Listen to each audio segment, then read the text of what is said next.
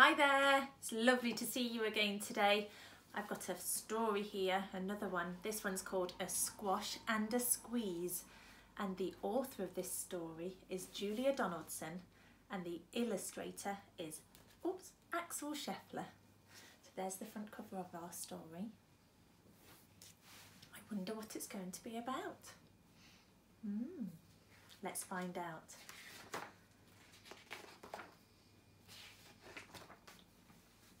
A little old lady lived all by herself with a table and chairs and a jug on the shelf. A wise old man heard her grumble and grouse, There's not enough room in my house. Wise old man, won't you help me please? My house is a squash and a squeeze.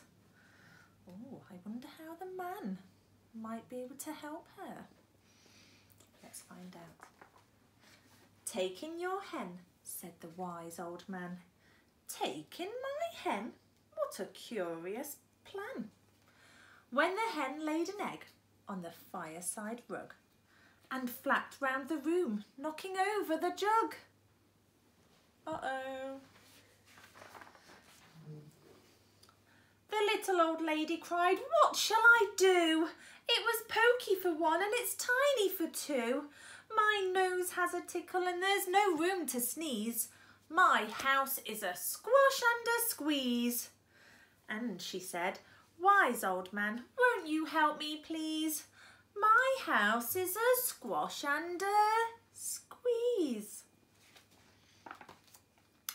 Take in your goat, said the wise old man. Take in my goat? Ooh, what a curious plan.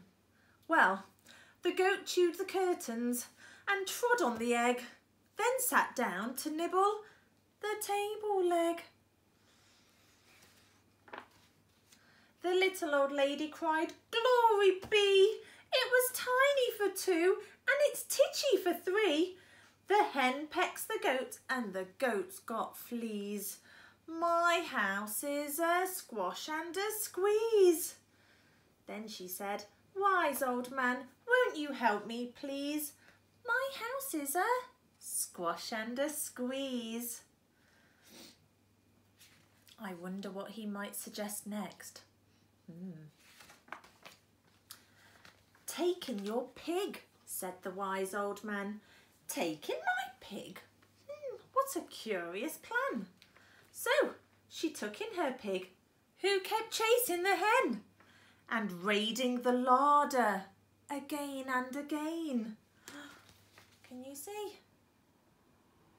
I think he's a bit of a greedy pig. The little old lady cried, Stop, I implore. It was titchy for three and it's tiny for four. Even the pig in the larder agrees. My house is a squash and a squeeze. And she said, Wise old man, won't you help me please? My house is a squash and a squeeze. Oh, can you see the animals there? They're looking rather full. I think they've been busy eating. Taking your cow, said the wise old man. Taking my cow? What a curious plan. Well, the cow took one look and charged straight at the pig, then jumped on the table and tapped out a jig. Can you see? Doing a bit of a dance. The little old lady cried, heavens alive! It was teeny for four and it's weeny for five. I'm tearing my hair out, I'm down on my knees. My house is a squash and a squeeze. And she said, wise old man, won't you help me please? My house is a squash and a squeeze.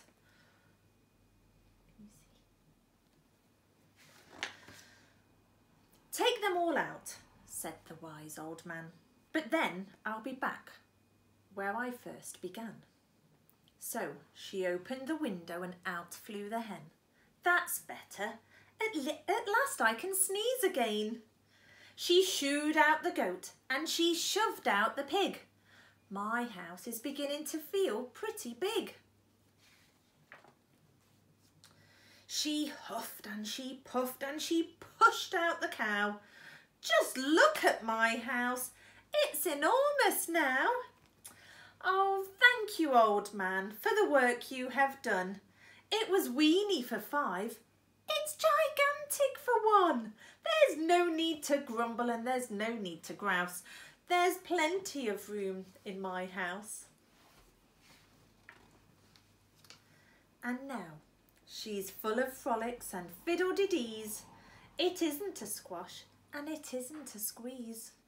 Yes, she's full of frolics and fiddle-de-dees. It isn't a squash or a squeeze. Can you see the old lady there? She's dancing around. She's got lots of space now. It's just her in her house. And there we go.